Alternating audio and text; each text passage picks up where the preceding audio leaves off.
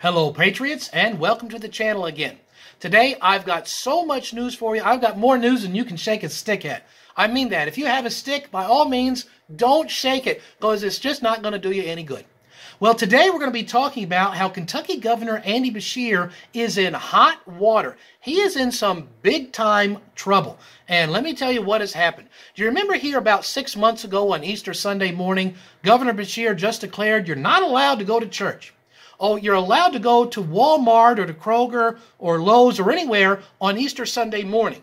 And any of those places might have hundreds of customers in the building at the exact same day, the same time, and that was fine, but you just weren't allowed to go to church. And he sent the Kentucky State Police, deployed them, used the man hours and their resources to put notices on people's cars in the church saying you may now face up to one year in jail and a $500 fine because you disobeyed me. Not because they broke a law. No law has been made. Just they disobeyed Andy Beshear. Well, the church took him to court saying, hey, you're the one breaking the law. You are violating the highest law of the Constitution on our freedom of religion and our freedom of assembly. And the court ruled in favor of the people. One of the judges in the ruling that day said that Andy Beshear was, quote, trampling the rights of Kentuckians. And so we were able to go back to church. However, a lot of people don't realize that Governor Beshear didn't let it go, and he had spent the last six months trying to re argue this case and appeal it so that he can send these people to jail for a year and reclose down all of the churches in Kentucky. Well, this week, the Sixth Circuit Court of Appeals, they had heard this case and they issued the ruling and they said, Governor Beshear, you're the one who broke the law. You can't be doing that. The people have the freedom of religion, they have the freedom of assembly, and they can go back to worship. Well, praise the Lord for that.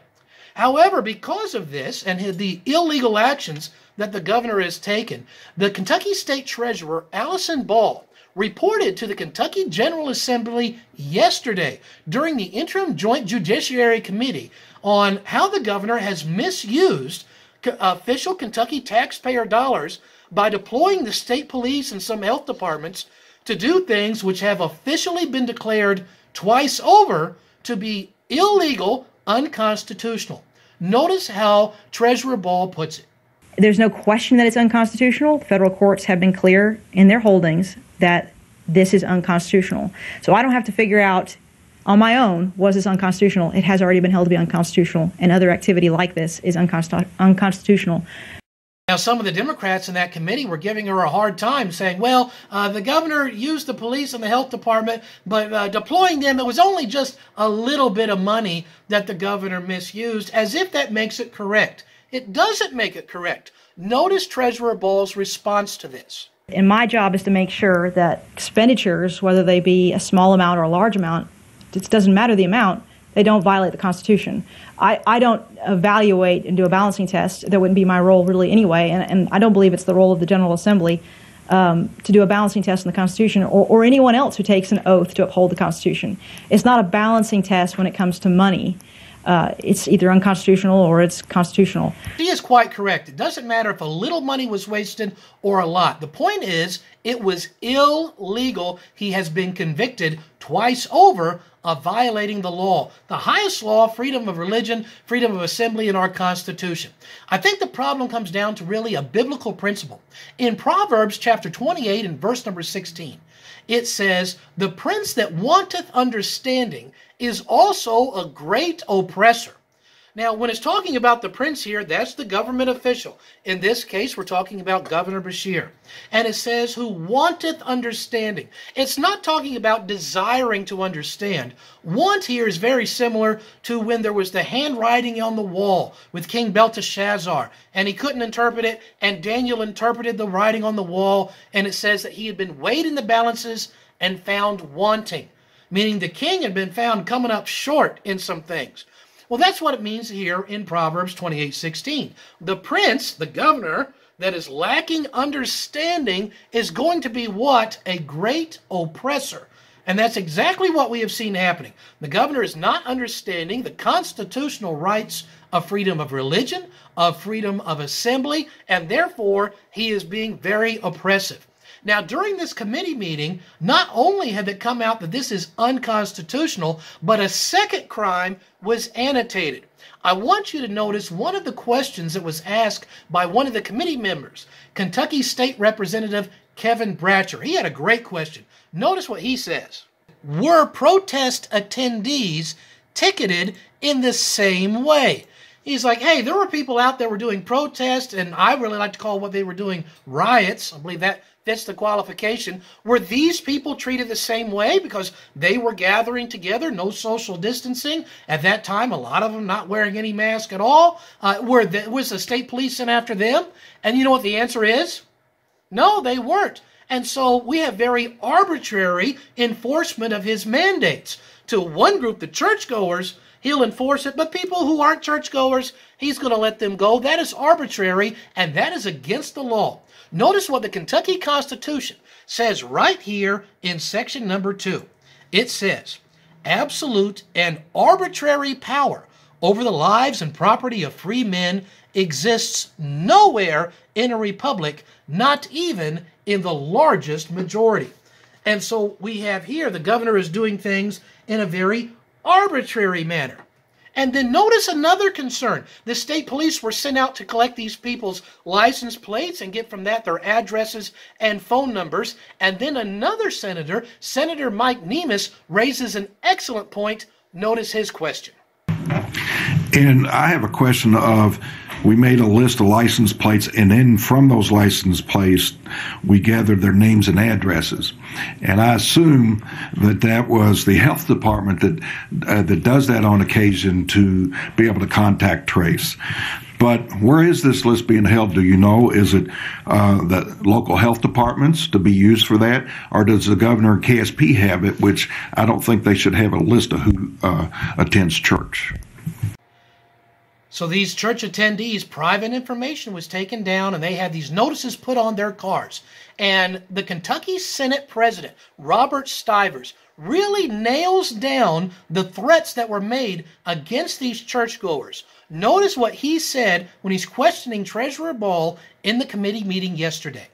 Secretary Ball, you said that these notices were placed on people's car saying that they could be subjected to one year in jail and a $500 fine?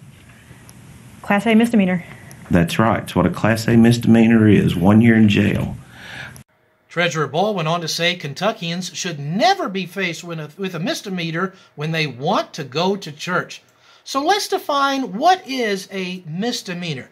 A misdemeanor legally is defined as a crime less serious than a felony. Felonies are very spelled out, so this is kind of a good catch all. And misdemeanor really translates to bad behavior toward others. And so the governor was threatening churchgoers with a misdemeanor. And it's very interesting that he used the things to qualify as a misdemeanor. Bad attitudes towards others, bad actions. When the court said, no, governor, not them, you are the one who is guilty of that. And that plays a big role into why the governor is now in super hot water. Notice what the Kentucky Constitution says in section number 68. The governor and all civil officers shall be liable to impeachment for any misdemeanors while in office. And that's what we have the governor being guilty of a misdemeanor. And the Senate President Stivers nails this down again. Notice how he put it. The governor or that case referenced the fact that the governor was availing himself of First Amendment rights of freedom of speech and access to the press, but denying churches the ability to freely meet and express their freedom of religion. Is that the case that you're talking about there? Yes, I believe so, yes. And so that's basically over, correct? It's res judicata, if you want to use that term. Yes. Fair? Yes. So the governor has not appealed. He's acquiesced, basically, that he violated the federal constitution when issuing this order. Is that fair? Yes, I, I believe so. So it's not a question that's up for debate. The courts have decided that he is guilty. The president of the Senate used the term res justica. That is Latin and it means the matter is determined. It's no longer up for debate. The courts have officially ruled twice now that he did violate it. He is guilty of misdemeanors. However, that is not the only reason that would be an impeachable offense. Do you remember this year, Andy Beshear put all these people out of work and there was no money to pay the unemployment insurance. So he borrows more than $800 million in the name of Kentucky. Now, here's the problem with that. Notice what it says in Section 49 of the Kentucky Constitution. The General Assembly may contract debts to meet casual deficits or failures in the revenue.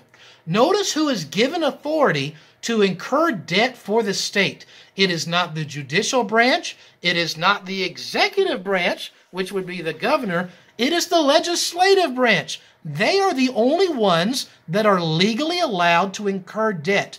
And the governor incurred more than three quarters of a billion dollars of debt on his own signature, which he had zero legal authority to do. That is a misdemeanor. But he's also violated this in a second way. Notice what else it says in Section 49 of the Constitution. Such debts, direct or contingent, singly or in the aggregate, shall not at any time exceed $500,000. And the governor borrowed more than 800 million all at one time therefore doubly violating Section 49 of the Kentucky Constitution, being another impeachable offense. What we have right now is a governor who has demonstrated a great lack of respect for legislative intent of the emergency laws that governors have. We have a governor who has demonstrated a great disrespect for the General Assembly, refusing to let them be a part of this conversation and to have anything to do with what's going on to help mitigate the current events. He has shown that he doesn't care about the separation of powers, and as the judge says, he has trampled the rights of Kentuckians. Now, some of you out there may say, Brother Lee, this is, is kind of strong words from you. Uh, and yes, it is. It's not my normal jovial tone that I, I often use, and that's what I really enjoy using. But there's a reason for this. Ecclesiastes chapter 7, verse 7 says, Surely oppression maketh a wise man mad. The Bible is very correct. And oppression will make you mad. And if that's the response that you've had, you know what? The Bible says that's to be expected, that's natural. And whenever we have someone who is violating the rights of Kentuckians, I take that seriously. Specifically, when they're violating your religious liberty rights, I take that matter extremely seriously. What we have right now is a governor who has violated the highest law in the land and has had no repercussions. All they've done is said you can't do that anymore. Whenever the Constitution is attacked and no, nothing stops the attack, it weakens the Constitution. We must defend the Constitution before it's too weak to defend us. I hope the members of the Kentucky General Assembly will keep all of this in mind when they go back into session in January. I hope this video has been very informative for you and that you'll share it with people. And until next Friday for the next video, I'm Lee Watts for Patriot Point. Stand strong and breathe free.